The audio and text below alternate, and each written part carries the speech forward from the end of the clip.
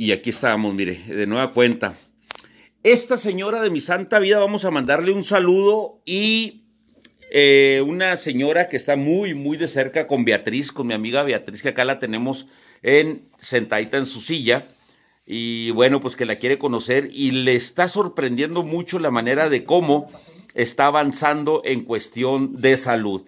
Y gracias, gracias a ella, inmediatamente el llamado y envía estas tiritas para checar la glucosa para que no me batalle. Pues ¿Eh? ¿Cómo ve? Pues muchas gracias porque... Pa- ¿Qué, qué es lo que más está requiriendo ahorita? Pañales. Pañales y, y por las tiras. Así es. Déjenme decirles eh, a nuestro público, a nuestro público de www.conectanoticias.com.mx que no traigan calzoncitos. Es decir, se les agradece muchísimo.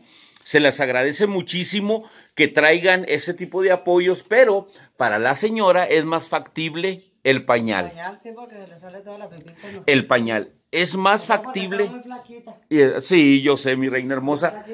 No se cae, ¿verdad? Está amarradita. Ok, está amarradita. Eh, Lo que necesita y requiere es pañal. Pañalitos en lugar de calzoncito. Requiere de pañal. Es mucho mejor. Entonces, dígale adiós, adiós, mi reina, con su manita. Ay, a mis vidas hermosas. Gracias a toda la gente que te está ayudando, mi reina. Te está ayudando dile mucha gente. gracias. Mi vida, mi vida hermosa.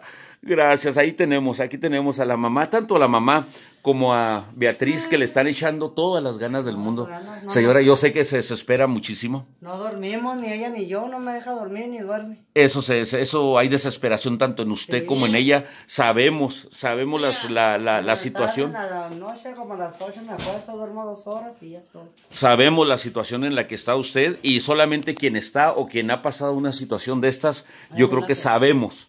Eh, como dice el dicho, solo quien lleva o quien carga el morral sabe lo que lleva en el interior, ¿verdad? Sí. Así es de que, bendito Dios, Beatriz, eh, Beatriz está bien, eh, eh, está comiendo, come muy bien, ¿verdad? Come Hasta- por la boca, y Come- por, por la sonda. por la sonda y por la boquita. Sí, ya le estoy dando hasta para que mastique y... Qué bueno. Pero me está muy flaquita. ¿no? Ya va para ocho meses de, que hoy, sucedió. hoy, Hoy hoy, precisamente está 16. cumpliendo ocho meses Sí, de su terrible agresión.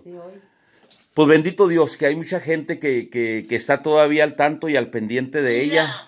Habrá algunos días, habrá algunos días en que se nos atore, se nos atore la carreta un poco. Sin embargo, pues le, le estamos, le estamos echando muchísimas ganas.